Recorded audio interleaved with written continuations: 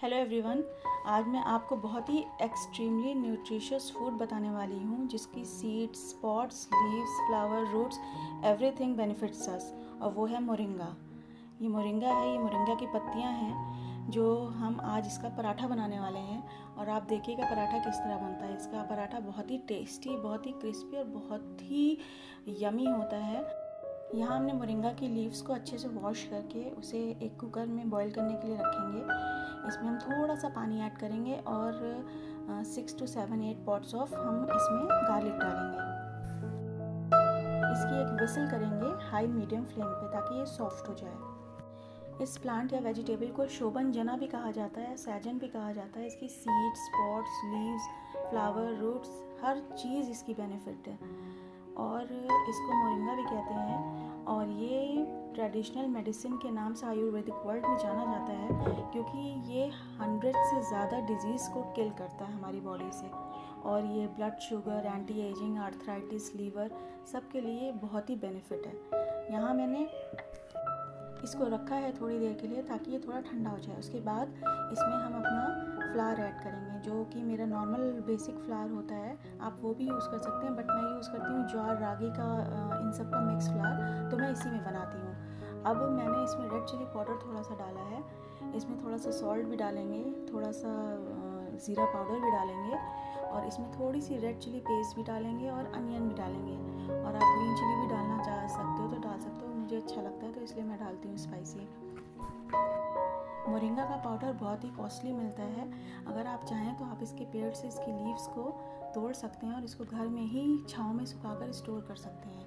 और अगर आप इसको इस तरीके से बना के खाएँगे तो आप रोज़ खा सकते हैं, क्योंकि नॉर्मली मेडिसिन के तौर पे खाएँगे तो वो खाई नहीं जाती ये चीज़ें। अब जैसे जैसे विंटर्स करीब आते जा रहे हैं, उसके लिए ये बेस्ट है क्योंकि सारे ग्रीन लीफी वेजिटेबल्स एक्टिवेट होने वाले हैं सबकी लाइफ में।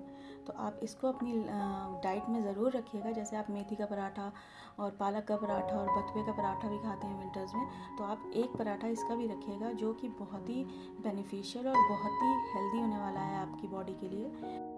ये एक एंटीऑक्सीडेंट कंपाउंड है और this is also rich in protein minerals and B carotene जो आपको बहुत ही अच्छा रखने वाला है पूरे विंटर्स तो चलिए इसका डो बना लेते हैं खूब अच्छे से और इसको बहुत ही अच्छे से सॉफ्टली इसका डो बनाएँगे ताकि हमारा पराठा अच्छा सा बन सके और ध्यान रहे कि इसको फ़ौरन ही फ़ौरन बनाना पड़ता है, नहीं तो इसका टेस्ट बिगड़ जाता है।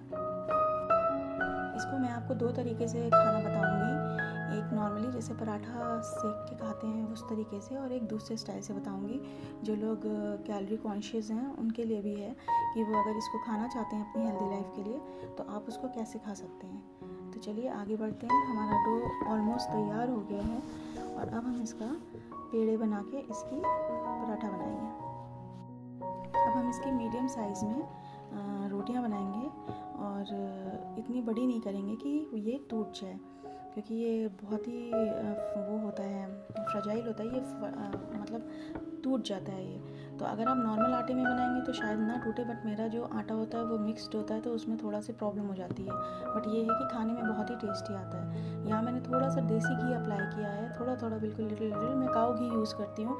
आप लोग को भी चाहिए कि आप लोग को काऊ घी यूज़ करना चाहिए, क्योंकि काऊ घी जो होता है वो बहुत ही हेल्दी होता है और इसके अलग अलग बेनिफिट्स हैं, वो आप चेक कर सकते हैं।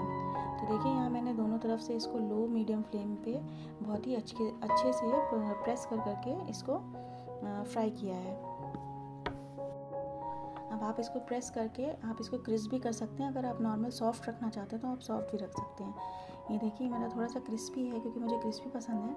ये मैंने थोड़ी सी रेड चटनी ली है थोड़ी सी अनियन और थोड़ा सा चिली का अचार लिया है। उसके साथ ये बहुत ही अच्छा जाता है और बहुत ही टेस्टी लगता है। और आप इसको खाएँगे तो आपको बहुत ही मज़े आ जाएँगे। बहुत ही टेस्टी पराठा होता है। चलिए अब सेकेंड मेथड बताती हूँ मैं। इसमें ये करना है कि आपको सिर्फ़ सेकना है इसको without any ghee without any oil और जैसे रोटियाँ सीखती हैं वैसे ही सेकेंगे आप इसको। और इसको ढाबे स्टाइल में पराठा सेक के इसमें बटर लगा के या वाइट बटर लगा के या देसी घी लगा के खाएँगे तो ये बहुत ही अच्छा टेस्ट करेगा। और thank you for watching keep supporting me keep loving me keep subscribing me wait for my next video bye bye